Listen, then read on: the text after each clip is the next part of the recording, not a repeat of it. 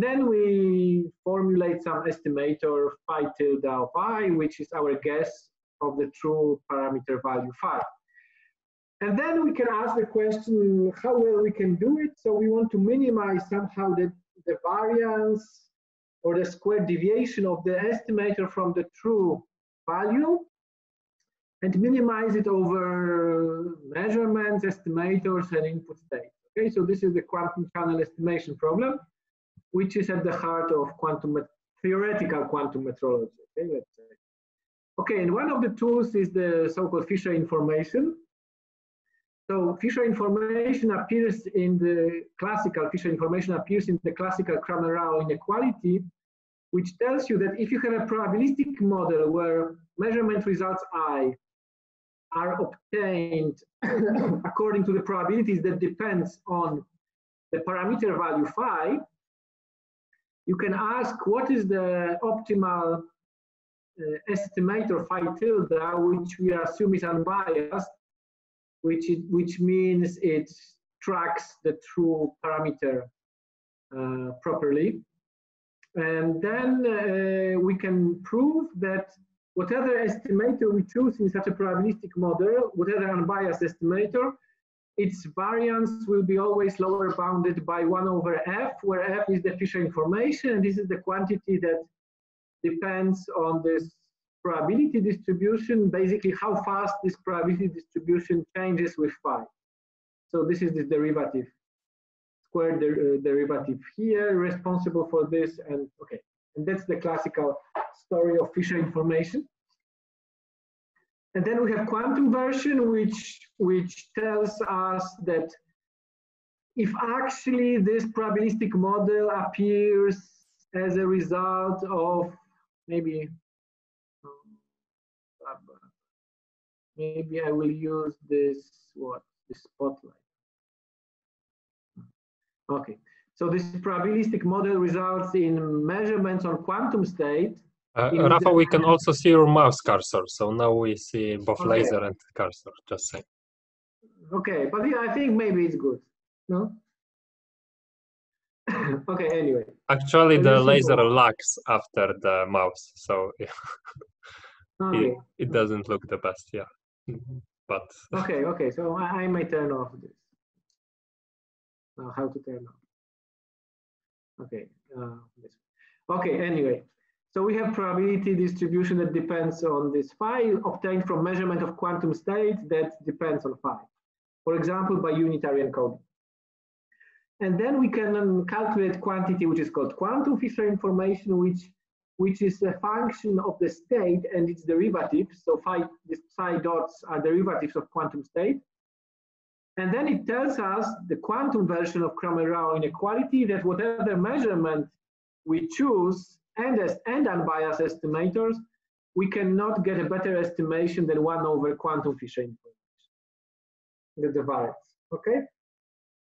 So for people who don't know these things, the best intuition is to remember that basically for unitary encoding, like when encoding of the parameter is in the form e to minus i some generator, for example, you can think Hamiltonian, and t, you can think that the parameter is time, then basically for such an encoding, this quantum Cramer-Rao inequality amounts to time energy uncertainty relation because sorry, because the Fisher information from the above formula is just four times the variance of the generator of this uh, encoding, of this unitary encoding. And then the quantum Cramer-Rao inequality tells us that the estimator of time, the variance of this estimator is lower bounded by one over four times variance of the Hamiltonian on the state. Okay? Good. Any questions?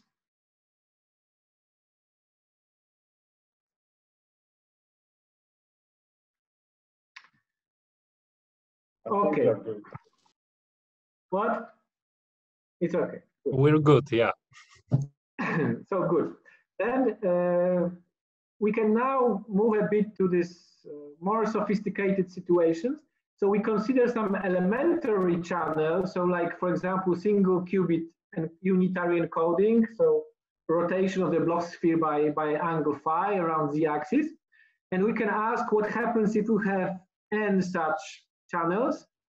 And then we can either send uh, states of the qubits in uncorrelated way. So each state goes through its own channel and the measurements are also independent and so on. Or we can say like, we can consider like entanglement enhanced scheme where we send arbitrary entangled state and in, we measure it in a collective way. And we can ask what is the quantum Fisher information in such scenarios, and what we can do. And it's very easy to show that in this uncorrelated scheme, it's optimal to send the state that just lies on the equator of the Bloch sphere. And Fisher information for this state is one.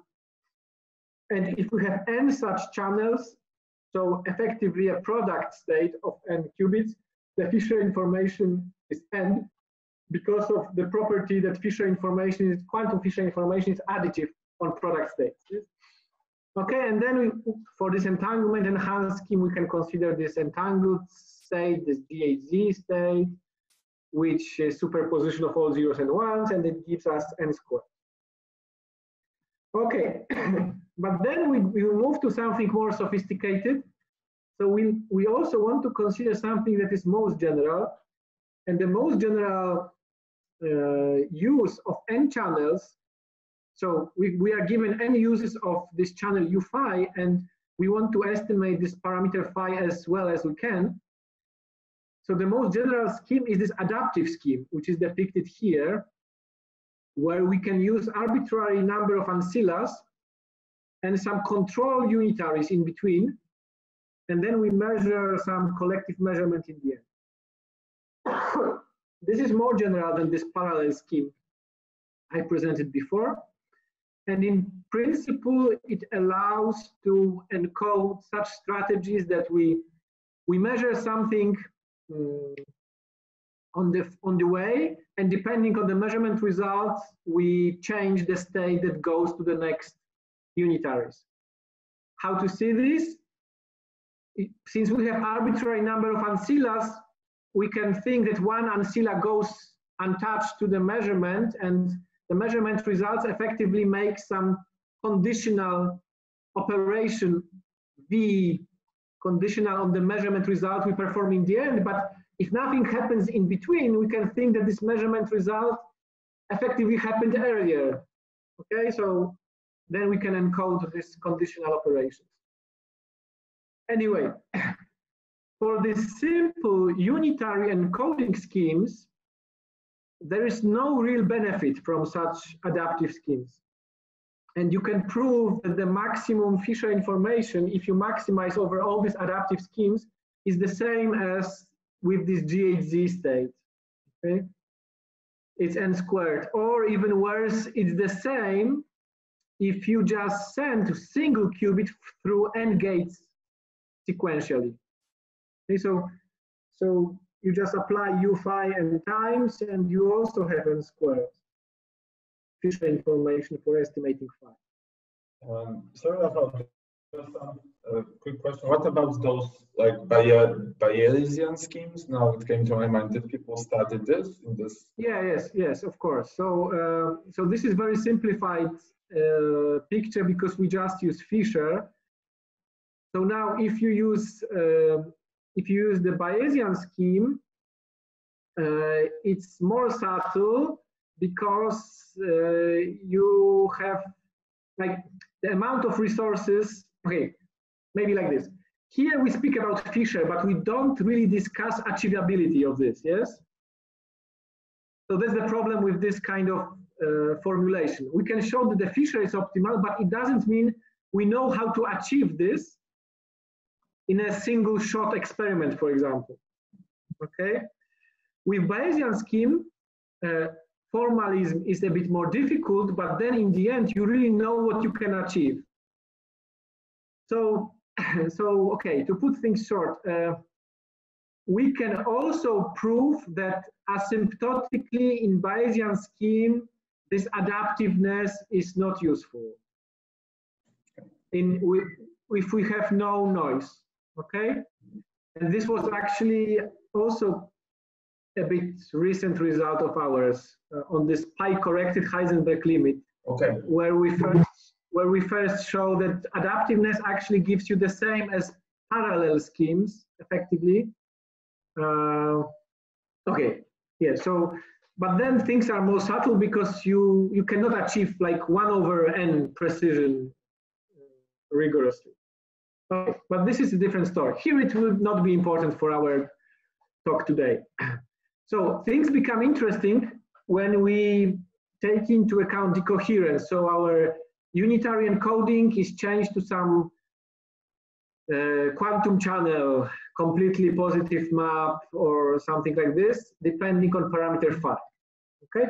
So for example, we can think that it has some Kraus representation with Kraus operators depending on parameter phi. So for example, you can think that this is an interferometer with added loss, okay, or qubit rotation with added dephasing or something like this. So for example, in these two examples, the structure is very simple because these Kraus operators can be represented like Kraus operator represented uh, responsible for noise times unitary. So this is quite simple structure where parameter encoding and noise can be somehow separated it's not always the case, but okay, it's often the case, at least in the simplest examples, and you can you can understand a lot by thinking only about such uh, models. That we have unitary times noise. Okay. okay. so now we again uh, consider this most general adaptive scheme and now the question is very non-trivial, and we ask if we maximize this quantum Fisher information over all input states and this control operations V, can we achieve this n squared scaling, like this Heisenberg scaling, or just this standard scaling like n, proportional to n? Okay, and, and this is difficult question because quantum Fisher information for mixed states, so the states you have when you have decoherence, it's not so easy to calculate compared with pure state case. So you have the formula, which, okay, I don't, I will not go into because we don't need it. But basically some formula that you can calculate, to calculate it, you need to perform eigen decomposition of your states rho. And this is numerically doable, but it's difficult to get some analytical simple formulas. And for example, to, to prove something in general, what are the bounds and so on. Okay? That's why you have to do some more clever things. And there is one very nice property of quantum Fisher information for mixed states that actually if you consider purifications of your mixed states, surely a purification contains more information than the mixed state itself. But it's interesting that there always exists some purification which contains exactly the same information as the mixed state. Okay, so if you minimize over all purifications of your mixed state, or actually I should say of your family of mixed states. Because we don't deal with a single mixed state, we deal with some parameter dependent family of mixed states, at least some, we need some neighborhood of, of a given phi.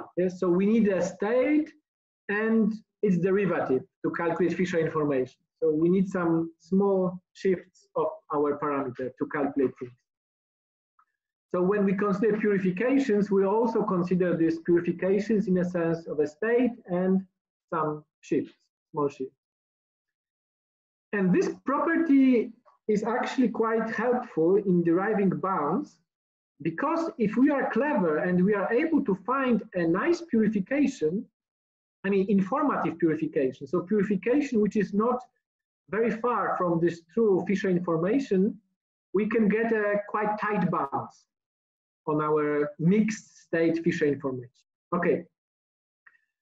And, and this was basically the idea behind the bounds that have been derived many for over over over a couple of years. and basically these bounds are derived using the trick that we write quantum Fisher information in terms of Kraus operators of our channel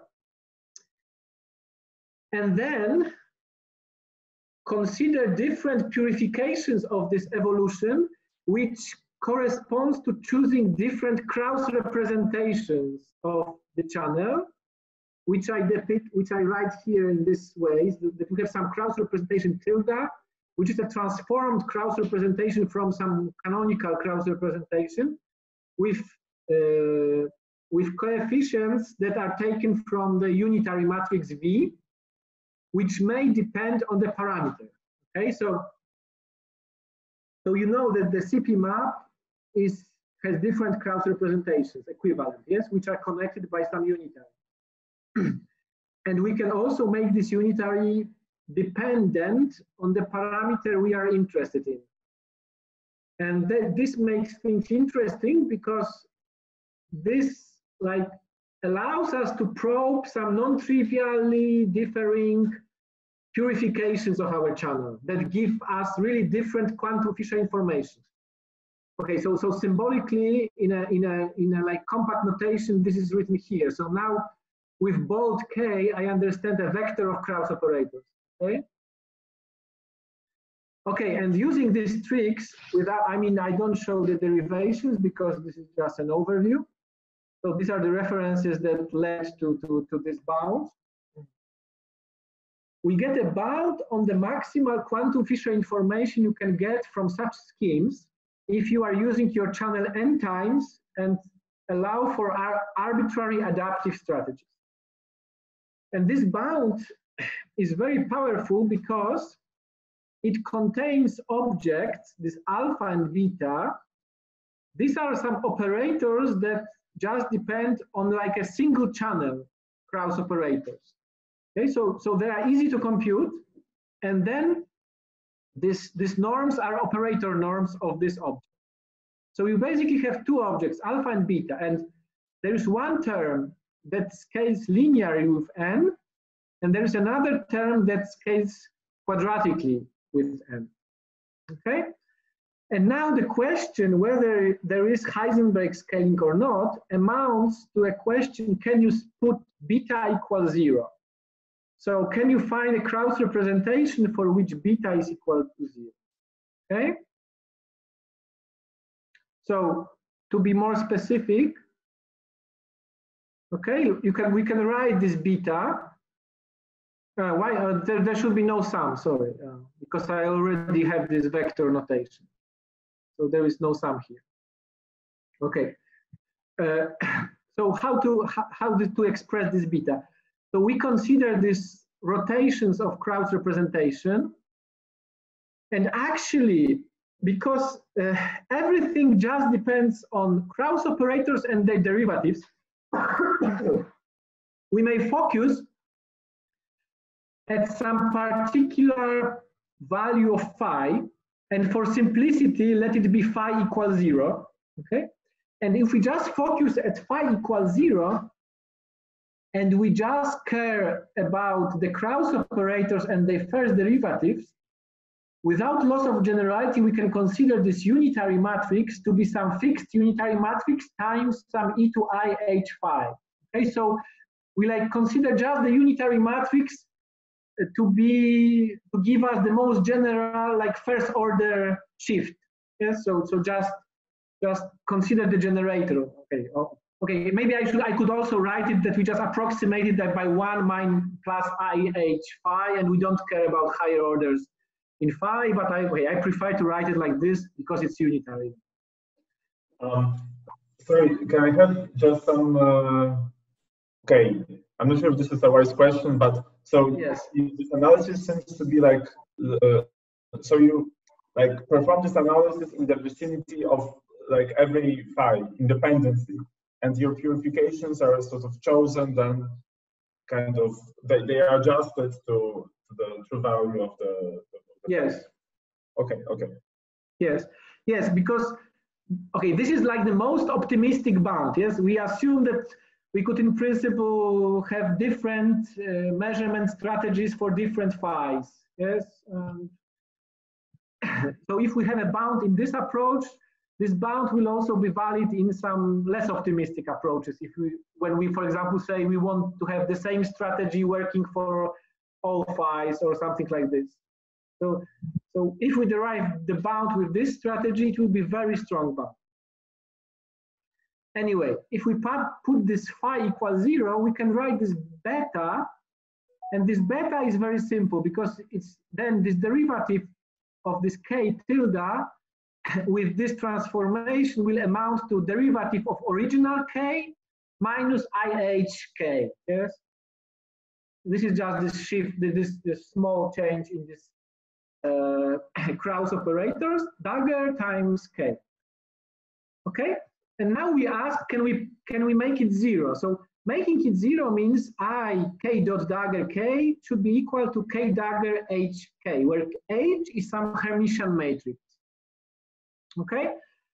In other words, it means, uh, it amounts to the question, is this operator i k dot dagger k within, sorry, within the span, the Hermitian span of ki dagger kj for all ij?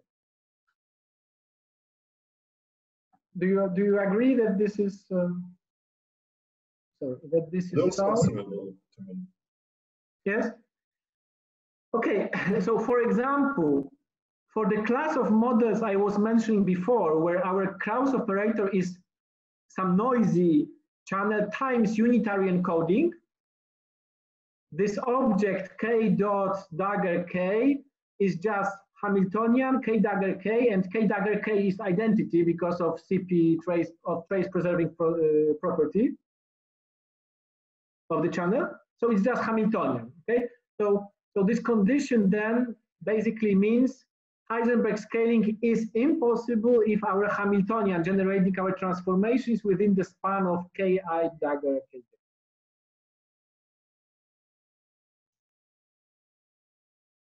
Okay? Good. So for example, you can ask the question, is it typical that we can have this beta zero? And actually it is typical. For example, you can always do this construction if your channel is full rank. Okay, full rank channel means that it's inside the set of quantum channels, yes? And then we can always make beta zero. So in some sense, you can say that beta can be made zero for almost all channels, I mean, apart from channels of measure zero. Okay? And in particular, you can show explicit bounds for various physically relevant, uh, physically relevant, uh, sorry, physically relevant uh, noise models. Okay, but you can say, okay, often it is it is like this, but maybe there are some also interesting cases where this beta cannot be made zero. Okay, or at least to a good approximation, it is not zero. So for example, you have some dominant noise for which beta cannot be made zero, and this noise is actually relevant in some uh, time scale or, or, or some, I don't know, okay, in your experimental situation. So then it may be interesting to ask what happens if this Hamiltonian is not inside this span, and can then Heisenberg limit be uh, achieve. Okay, and this was actually conjectured by us in this paper by 2017, but the general construction uh, of this quantum error correcting code that achieves this was given in this paper from 2018. Uh, and very recently, there is another paper which somehow, again, a bit generalizes this, this, this consideration. But anyway, the idea is very simple, that if this Hamiltonian doesn't belong to this space spanned by this Ki, Ki dagger Kj, then we can apply quantum error correcting idea, correcting all the noise, but because Hamiltonian is not inside this space, some part of unitary evolution will remain intact.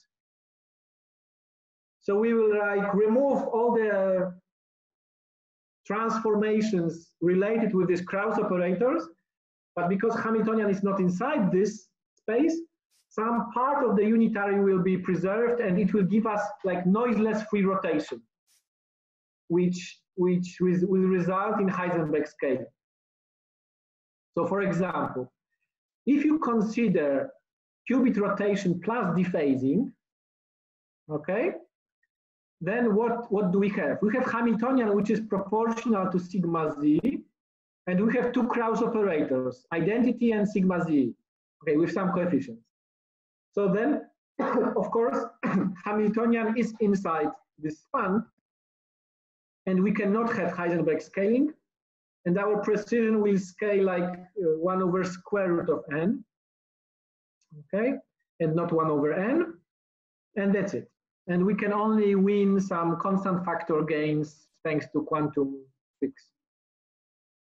But if we have uh, this perpendicular dephasing, for example, or actually it could be dephasing along arbitrary other axis than, than sigma z.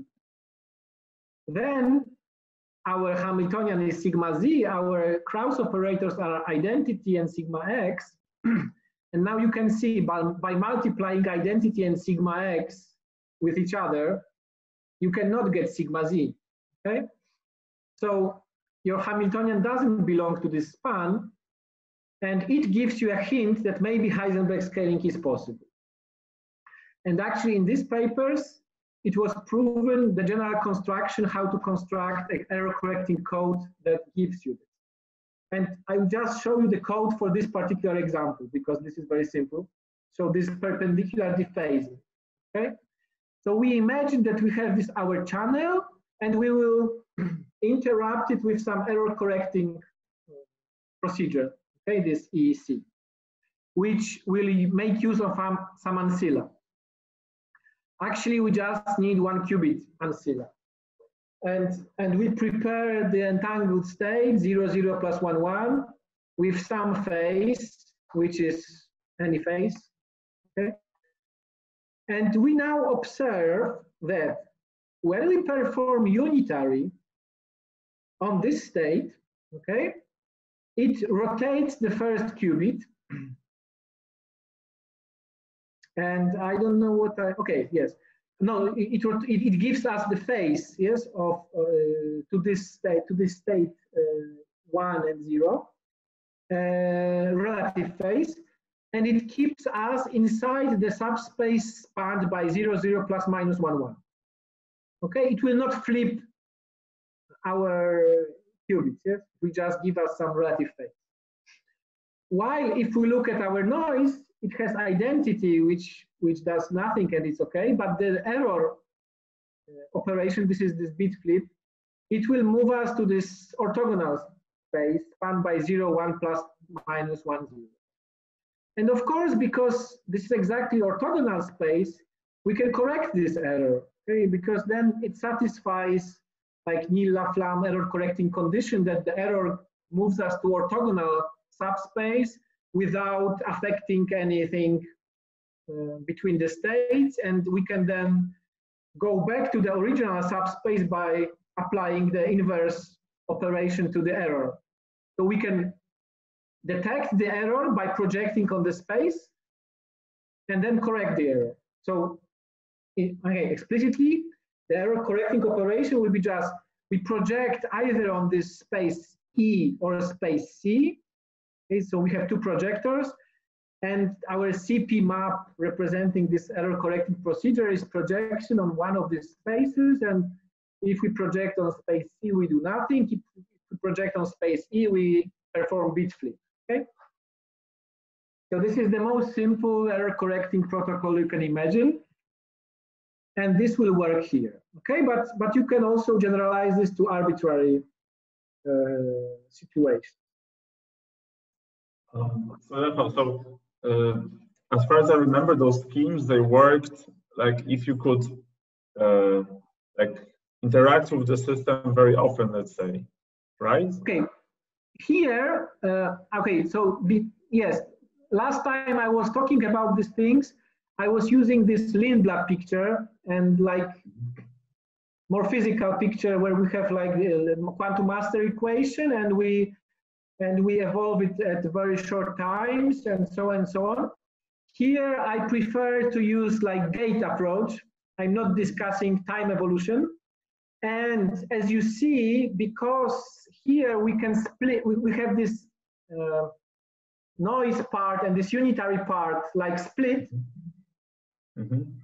we don't have this problem. So actually here, here I could say that, okay, I don't care. I mean, it can be long rotation and, and strong uh, decoherence, but because they, they are split, like one acts first, the other acts later, then I can do it. But, but of course, in reality, the true physical model would be like this, that I would have this perpendicular dephasing acting simultaneously with phase rotation. And then indeed, I would need to do it fast because otherwise, if I evolve it rigorously for a longer time, the model will no longer be like this. it will no longer be like perpendicular dephasing plus rotation, but something more complicated. Okay? Yeah, thanks. Yes. Uh, okay, so in the end, if we do all this, our scheme uh, yields an effective noiseless free unitary evolution. Uh, so actually in this model, we simply go back to like ideal rotation. If the noise was not strictly perpendicular, but a bit tilted, we would have also unitary rotation, but at a bit slower speed. Okay, it will not be exactly the same unitary rotation as before, but a bit slower. But still, Heisenberg scaling would be achieved. Okay, so, so this is the first part. So maybe there are some questions uh, at this point.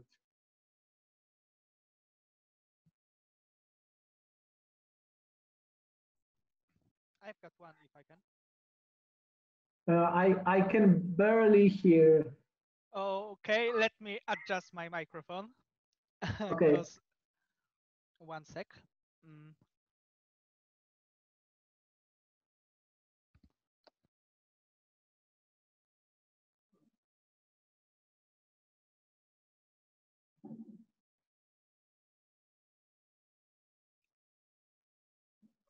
Tomek, maybe write the question. I can read it if you want. Or you can try to shout. Uh, is it okay now? Okay, maybe try to just speak very loudly. Okay, so. Uh, oh, it's okay. Okay, cool. Uh, my question is uh, you've said before that you are uh, interrupting the quantum channel, and I'm uh, with this correction scheme, or yes. this, and I'm not quite sure what what does it mean to interrupt the channel? Uh, is it application uh, after the channel or, or what does it mean? Yes, okay, so, so I assume that my channel, which is here denoted by this big epsilon phi, this is quantum channel that contains both rotation and dephasing. This is like a quantum channel which I cannot divide, okay? This is like given.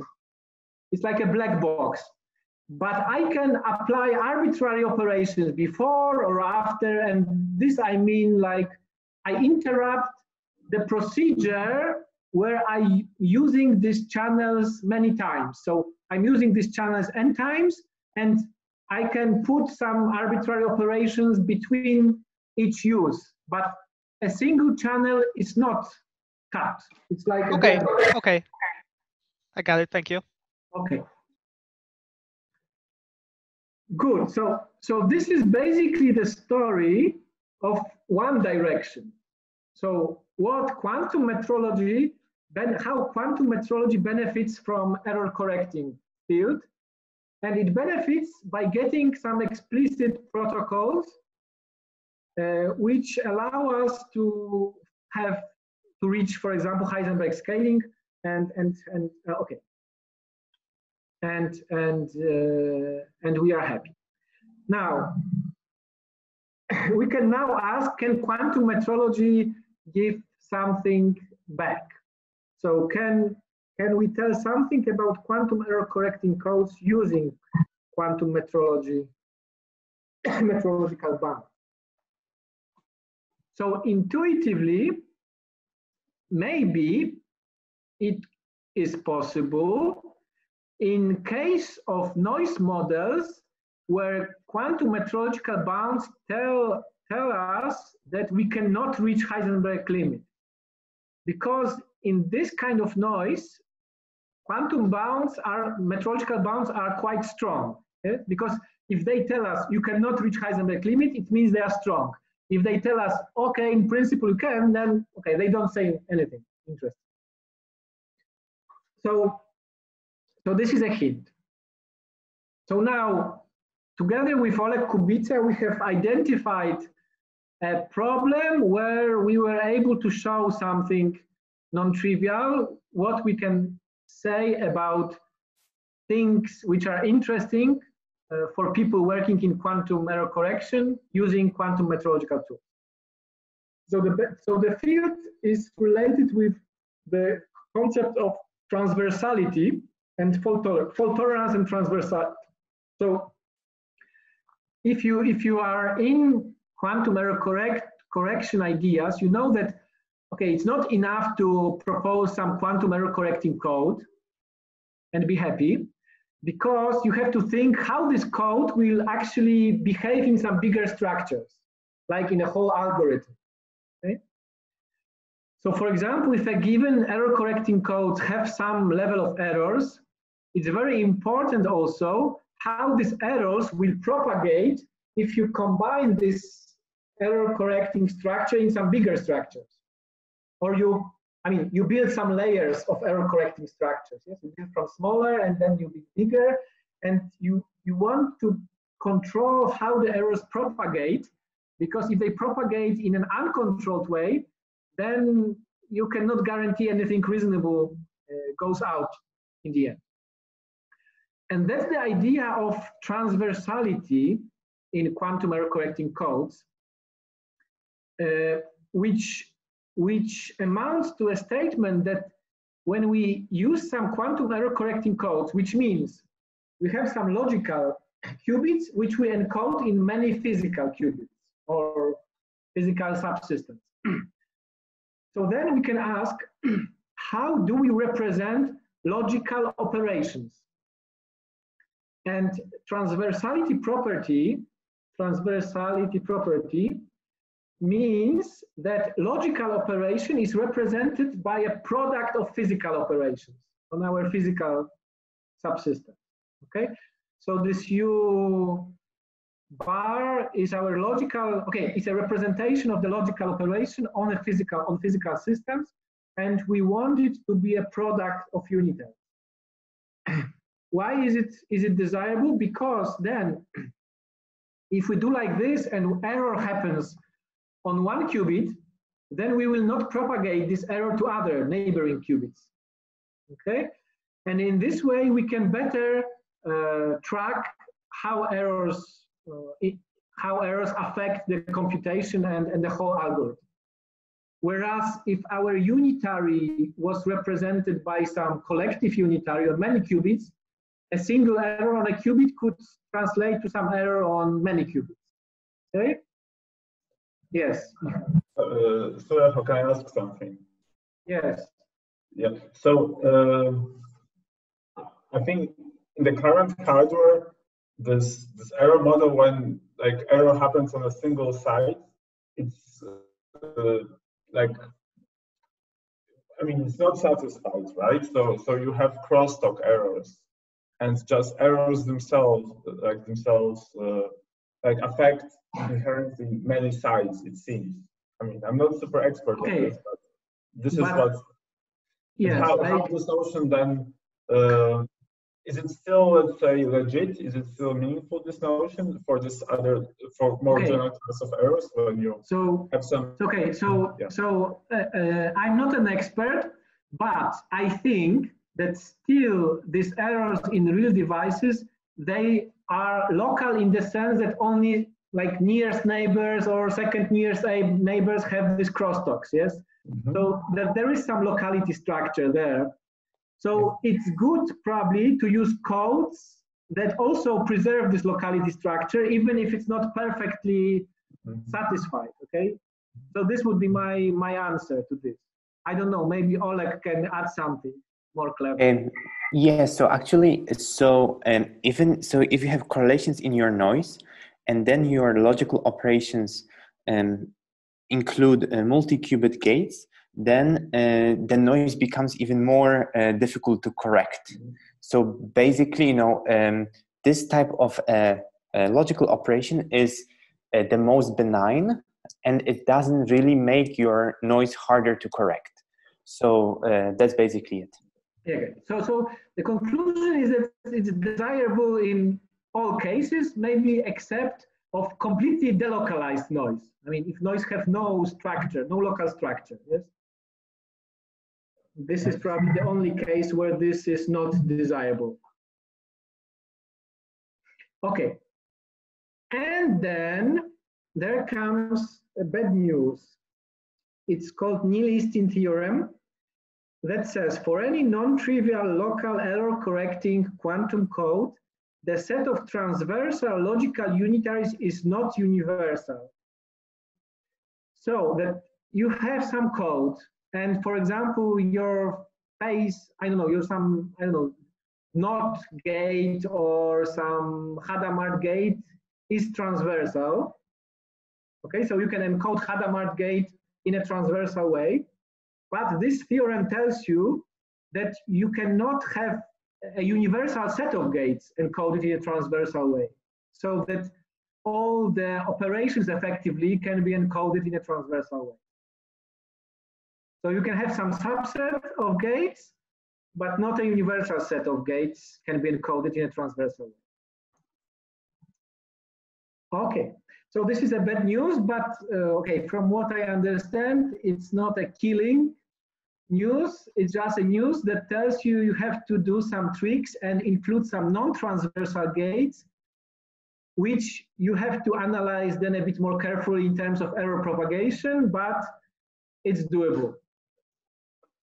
Uh, can I ask something? So this universality here, is it about computational universality or yes. can be also, uh, so it also disqualifies encoded universality. Right? What what what kind of I didn't understand? Like encoded encoded universality when you have encoded. Like you know, imagine you can just perform real transformations and then you can use them. Uh, so uh, to do full-fledged computation, but with some encoding. Uh, so, so by encoding, you mean restricting to some subset of unitaries? Some subsets, let's say that, you know, although like formally you don't have full unitary group, you have some some group which, okay. let's say, effectively can do you the like full-fledged quantum computations, let's say some subsets. Michael, Michael, effectively, when you have encoded universality, you have another layer of error correction or kind of another layer of code. And then you have, with respect to the overall code, still the Knill-Eastin theorem applies. Okay. Okay. So thanks. Uh, I didn't understand fully the answer, but thank you. It seems very reasonable. Okay. So uh, Okay, so then, but there is another uh, deeper level of understanding this theorem, and we can agree that it's correct, this theorem, which tells you that you cannot have perfect error correcting codes, okay? But then you can, okay, ask, okay, let's say we allow for some errors in this error correcting code. So they are correcting, but I mean, they leave some, some, some errors. So then it may be interesting to quantify it and to say how the imperfection of error correcting codes admitting universal and transversal set of case, case with increasing resources. So by resources here we will mean uh, how many physical subsystems we use for encoding, or more precisely, how many physical subsystems with a given dimension we use. Okay, and uh, and this problem was addressed recently in these two papers I mentioned here. And uh, these papers are a bit long and difficult to read, and uh, even the authors do not understand what's inside, uh, which we learned with Olek asking them some concrete questions. so, so uh, I'm exaggerating, but but indeed it was so. Olek was asking two two guys being who, who are co-authors, and he got different answers. So. Uh, so now we thought that that it would be nice to have a simple uh, proof using some metrological ideas of this approximate Eastin-Knill theorem. Okay. Basically, this approximate Eastin-Knill theorem uh, works with the so-called covariant error correcting code. So, so what is covariant error correcting code? If you imagine we have this logical qubit and we perform some unitary logical operation on, the, on it, and then we encode it into physical qubits. So this, this epsilon L to A means we encode logical qubit to many physical subsystems. Okay? Covariance here will mean that we will obtain the same state if we swap uh, unitary with encoding. So if we first encode our logical qubit into uh, physical subsystems and then apply uh, unitaries on physical subsystems. So if it is so, then you can you can see that this covariance guarantees transversality. Okay, because we have like by covariance we automatically have this uh, this transversality satisfied. And now if we would, if we add to it that it should work, for example, for all SU2 rotations, we would also have uh, universality, at least for a single qubit operation, guaranteed. So somehow this covariance is a stronger assumption than transversality and universality because from covariance it follows transversality and universality but somehow these people, again, in the same paper, they somehow argue that these are equivalent notions. Okay, so that, uh, that basically by considering covariant error correcting codes, we, we do not really impose some stronger constraint than we would do if we just talk about transversality and universality. Uh, Okay, I, am not sure about this statement, but uh, this is what I understood from, from this paper. And Olek, I think, is also not sure about it, but uh, this is somehow our uh, understanding at the moment. Um, so just to be clear, understanding is that it's, uh, do you believe that the state, like equivalence between this uh, yeah, so, so, so for, yeah, so, so for example, uh, I understand that they, they claim that if you prove something for covariant error correcting codes, it implies for all transversal and universal codes, yes?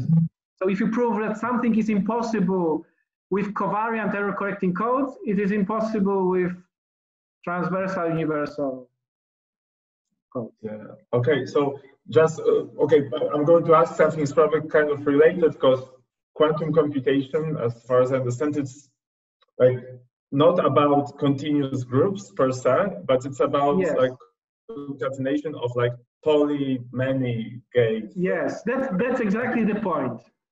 Right? That's exactly the point. So all the theorems in the end use the uh, Lie structure, Lie, Lie group structure and Lie algebra structure. But to reach it, you have to show that computational schemes, they really are somehow equivalent to this analysis on the level of continuous groups. Uh-huh. And I understand that there are some subtleties because you have to show that okay, this discretization is not really uh, making such a big difference because it's arbitrary small discretization. Mm-hmm, mm-hmm. And uh, so, so this is the basic argument I understand, but I, I would not uh, give my head for this. Mm-hmm. So I see. Because, okay, so so for to make things simpler, we will just focus here on U1 covariance. So we will consider this logical transformations and these physical transformations just to be some e to i t theta. Yes, so like theta will be our scalar parameter and we will have some logical generator TL and some physical generators TAI for each physical subsystem. Okay, so this is this covariant error correcting codes with U1 group in mind. Uh, this will correspond to schemes. Okay, and why, why do we consider this? Of course, as you can imagine, because we want to make connection with metrology where, where we exactly have very similar structures. Okay. Um, so that's not just what you're saying is extremely interesting. I just wanted, okay, in principle, you've got like seven minutes more. We can push it a bit further. Yes, uh, yes, yeah. I'm looking at the clock. Uh, I, I'm I'm close to the main point no, and then is... to finish. Okay, so now I just want to show you why we choose this approach because and how we connect these structures of error correction and metrology. So this will be just a single slide with our figure from the paper. So this is this uh, error correcting scheme. So we have this logical operation, we have this encoding into these physical systems. Now we have some noise. This NA, NAN is local noise acting on our physical systems. So you see, uh, green things are logical, gray things are physical. Okay, so noise is physical. Then we have this recovery operation, which is supposed to correct the errors. Okay? And then we are fine, we are back to our logical qubit on which we can apply again, for example, the same unitary and so on, okay? And in this way, we can perform some logical unitary many times, correcting and performing and, and, and so on. And then, in the end, we can perform the measurement on our qubit in which this parameter theta is encoded. Okay? Now, thanks to covariance property, we can now move this unitary rotation inside the physical system. So they become gray. Okay, they act on, on physical systems. Okay, so we now use this uh, error, uh, this covariance property. So, you know, it's funny because I show this presentation in inverse order than it's in the paper. I show it from C, B, and now A, because we, we spend a lot of time with Olek uh, discussing which order is better for the paper, to start with quantum error correction or to start with metrology and which direction we should present. And, and in the end, I think I, I let Olek choose and he chose the different order, but when I'm presenting it myself, I choose the order I wanted from the beginning. So, so then, so then in the end, if you look at this scheme, you realize that effectively, from the point of view of estimating theta, this is some particular quantum metrological scheme where you have some state preparation, you have this unitary gates acting on our systems, you have some noise, and then this recovery and coding is basically our control operations and so on. So that you can look at this whole thing as an instance of a general adaptive metrological protocol.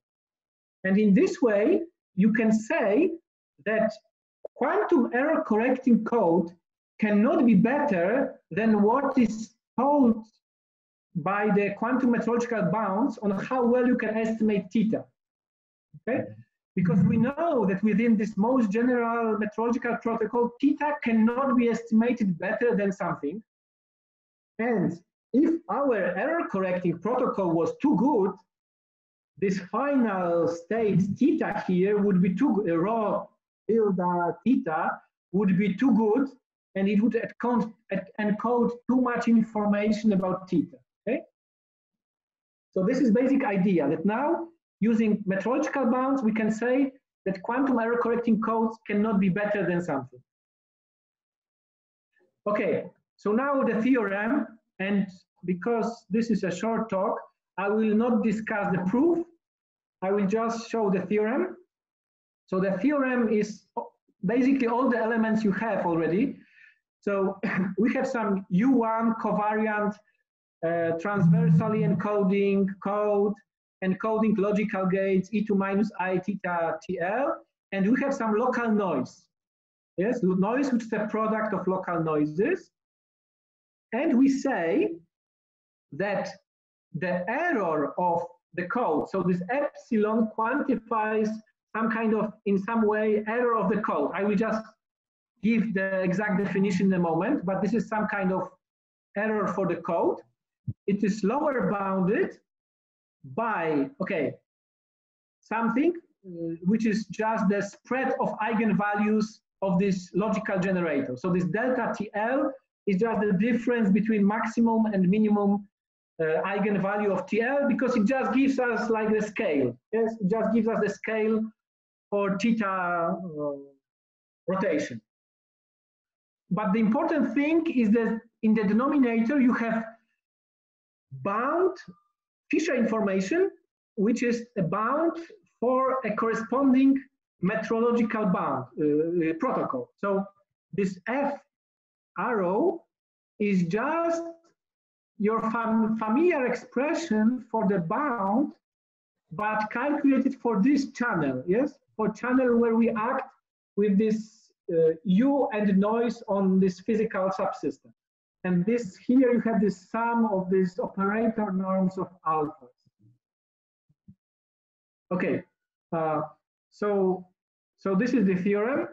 And now what is this epsilon? So what? So we say that this code uh, is epsilon. I mean that this we have this epsilon correcta correctability, which means that in that distance between the error correcting channel and the identity, and error corrected channel and the identity channel is less than epsilon. In what sense? So our channel I is encoding, noise decoding. And if it was ideal channel, it would be identity. Okay, it is not identity. And we quantify uh, this error by saying that the distance between uh, this channel and the identity is smaller than epsilon. Okay, so we know that it's closer to the identity channel than epsilon.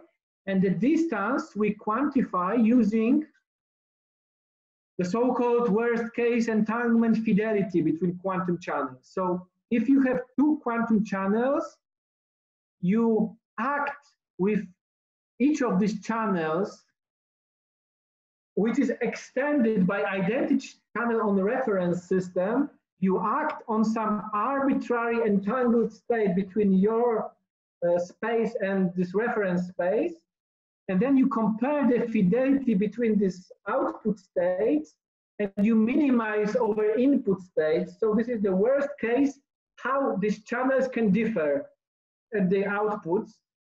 Okay, and this is called worst case entanglement fidelity of quantum channels. And the distance is defined as a square root of one minus this fidelity. Okay, so this is like the formal way how we quantify this, this, this distance.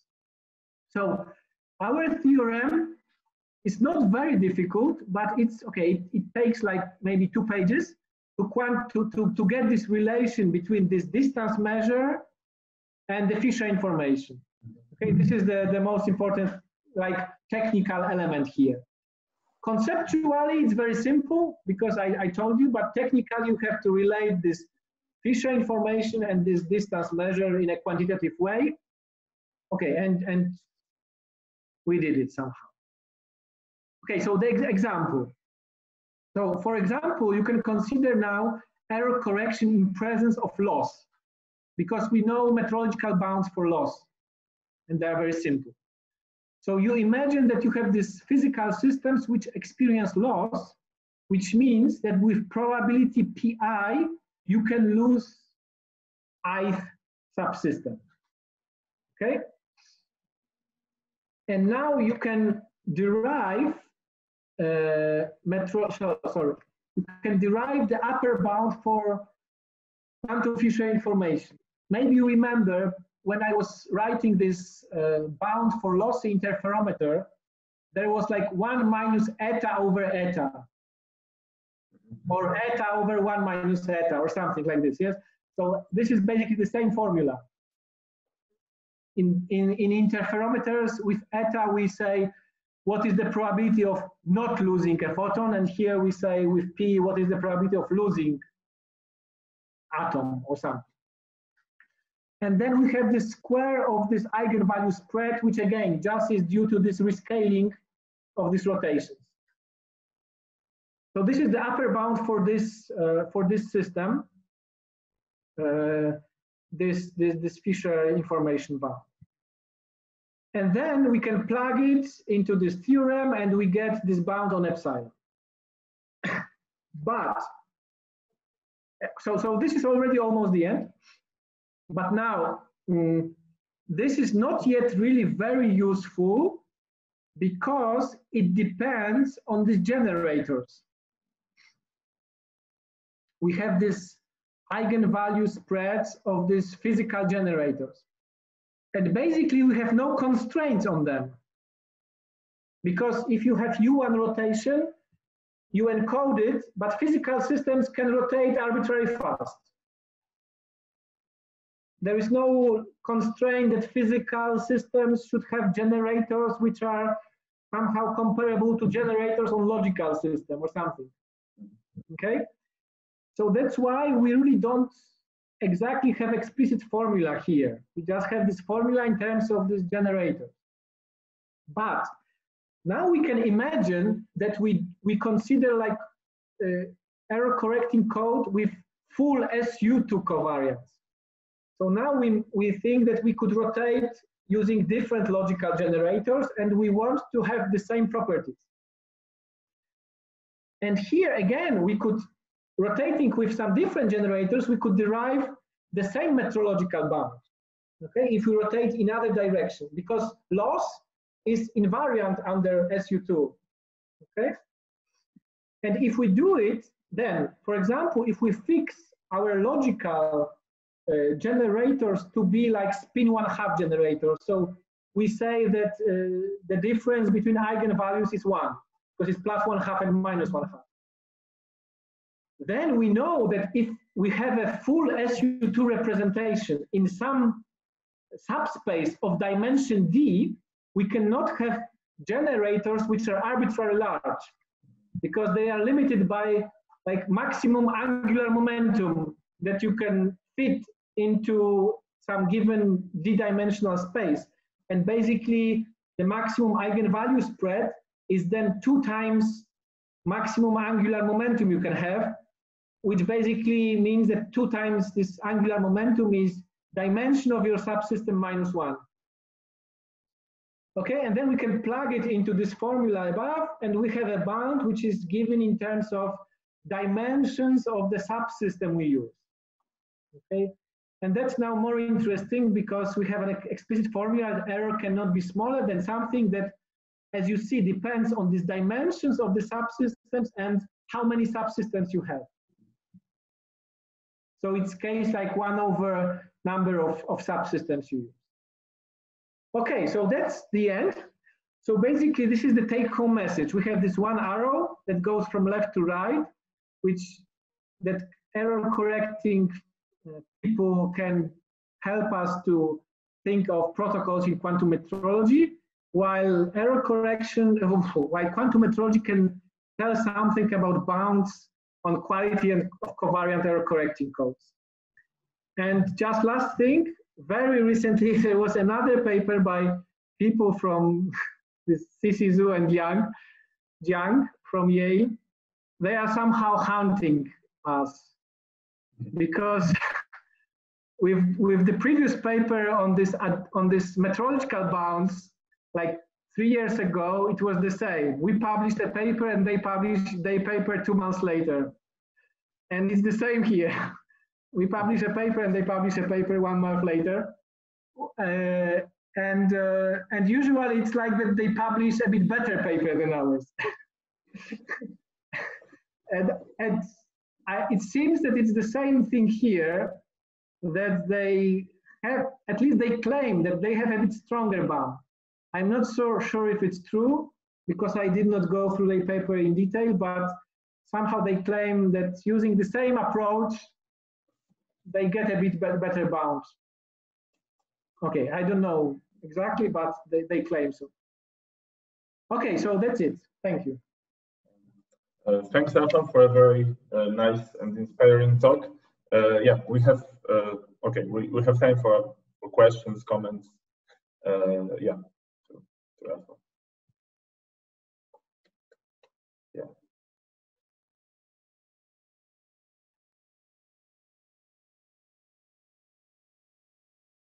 So. Uh, uh, yeah, so can you comment a little bit on the scaling on the last slide? Uh, because yes it's not like super clear for me what it means exactly because you have also probabilities of errors there, right? Yeah. So so the scaling uh, the scaling on last slide. Sorry. Uh, That's probably the first one. Yeah. You mean you mean this one, yes? Yeah, yeah, yeah. So, so the scaling is like, as you see, one over number of subsystems you use times square of their dimension. And uh, we don't claim that this bound is tight. In fact, right. uh, this, this other people, they said, I think, they said that they have like square root of this thing here. So a tighter bound. Uh-huh. Uh, in fact, we with Olek, at some point, we also obtained a tighter bound with this square root. but this was because we assumed something which later on we thought was not really justified in full generality. So I suspect that maybe these other people, they are a bit, um, they maybe, okay, either they are very clever and they did it, or they also missed this thing. We missed at some point uh, because at some point we had a bound which scaled like one over square root of number of subsystems. Oh, okay. Yes, but, but then, was it a uh, mistake? Uh, yeah. Yeah, it, it seems to us that it was a mistake in the sense that we had to assume something about the structure, uh, something additional about the structure of this error correcting codes. And, and without this assumption, uh, we could derive this one and we realized that it's maybe not tight because on the way we had to use a triangle inequality. And, uh, and this might make this bound not tight. Uh, so, so, so maybe the other bound is true and tighter, but uh, this is just to be to be seen. Uh, right.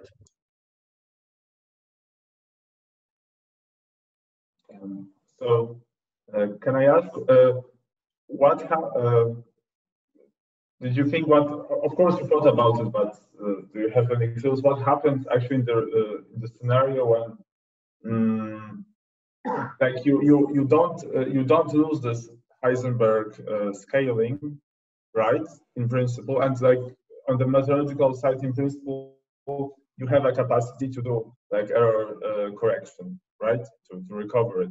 Then would those trans uh, like translate to on the on the side of, uh, of error correction codes to to be able to get better fidelities, let's say, of uh, for those uh, channels effectively?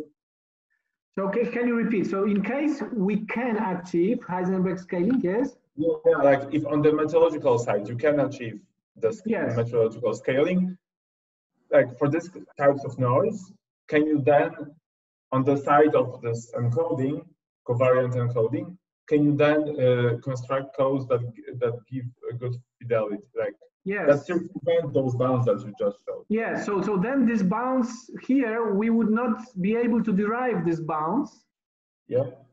So, so okay, this bounds, so, so okay, hold this approach of deriving these bounds on this uh, covariant error correcting codes, they only work when we cannot achieve Heisenberg scaling, like with losses. But as you say, if we can, then this bounds would be trivial, like epsilon greater than zero or something like this, greater equal than zero.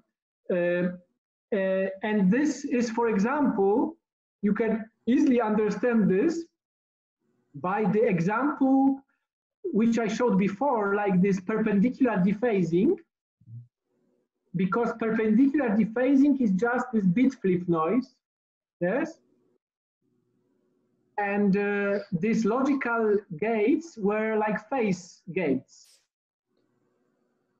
And then uh, basically this error correcting code that uh, we showed when we discussed this metrological protocol um, protects you against this, this bit flip error, but also works for arbitrary like logical operation, yes? Uh, sure, sure, sure. Like, okay, my question At was least from this class, from this U1 class. Sure, sure. yeah, thanks. Uh, Marcus, uh, yeah. Yeah, I was about to ask kind of two things. The one thing is, what exactly do you mean in the error correction setting by loss? Do you know the position or since when you apply gates or whatever, you have to act on something? So do you replace it by a maximally mixed state or do you have the information that the qubit has been lost? Yeah, okay, so so in our model, our model of loss is like this, that uh, on each subsystem, we act with Kraus operators that either keep the qubit unchanged or, or the system unchanged, or it uh, changes the state of the qubit to some flag state. Like we we have some. You, you, so it's the erasure channel, not the loss channel. Yes, we formally add some state which represents okay, I am lost.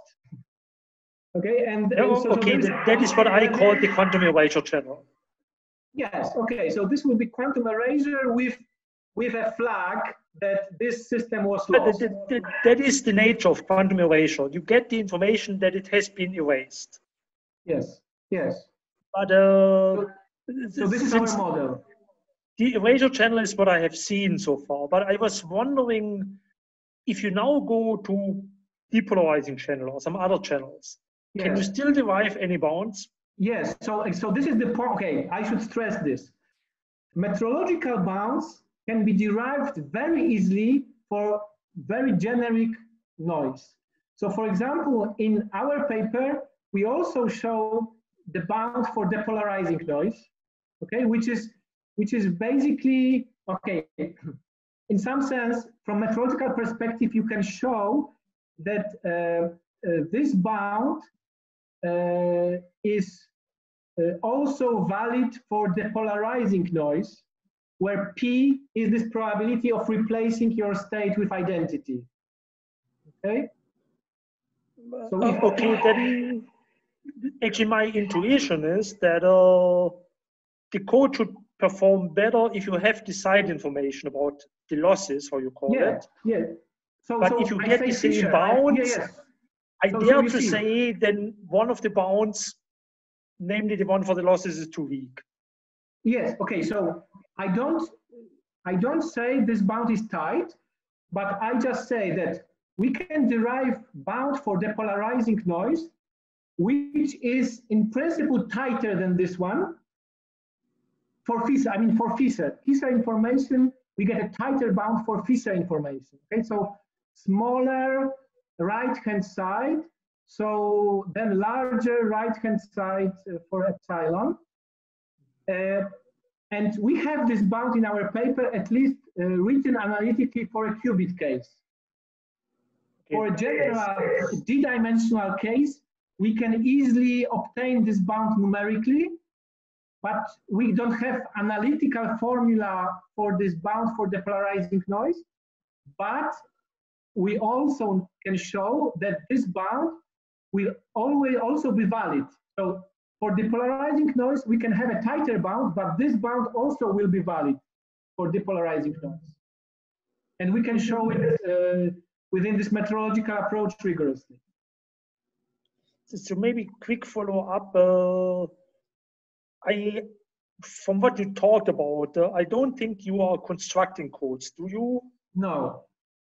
No. Since some don't. of the papers they were essentially constructing codes for the situation of erasure channel, but then effectively you know which are the qubits which have been untouched, and then you kind of can read off the rotation from that one.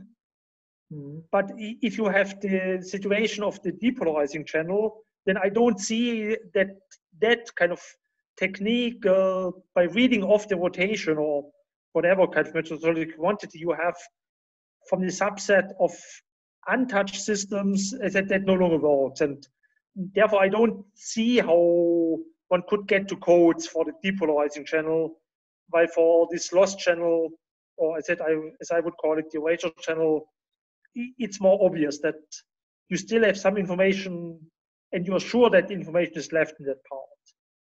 So, so as you say, we don't construct uh, the codes. So, no, we, so I, it, I it's fair enough, but I was just as curious. Yes, I, I, I, cannot comment on this because, I mean, okay, we just wanted to make this connection. And as, as, as from your question, I see, I think the power of this connection is that really, at least to get some bound, I'm not sure if it's a tight bound, that's true. But to get a some bound, I can really use very uh, like general approach from this metrology, which allows me to really take any kind of noise. And I know that these bounds for metrological properties, that they are tight. Okay, from the point of view of metrology, these bounds are asymptotically tight in the sense for if, you, if I have many repetitions and so on. But now I use them in this derivation where, okay, I, I'm not sure about the tightness of the final bound, but I can do it for any kind of noise model, basically. Okay, yeah, thanks. Just maybe taking over where you finished, uh, Rafał, so those metrological bounds are typically for single parameter estimation, right? Where you have yes. uh, just fixed information. So it seems just intuitive it's intuitive to me at least that if you, if one had analogous bounds for multi-parameter metrology, that would be closer and maybe tighter, like to to the situation that you are describing here, right, with, with SU2. Yes, but the point is, will they be tighter just by some coefficient, or they will be something more more like scaling properties? Uh, so so I would guess maybe there is only some coefficient difference then. Okay, uh, any more questions? We had already quite some discussion with Rafał, but any more questions, comments? If not, um, yeah, let's thank the speaker again for a very nice talk. Thanks, Rafał. Okay. Thank you. Thanks yes. a lot.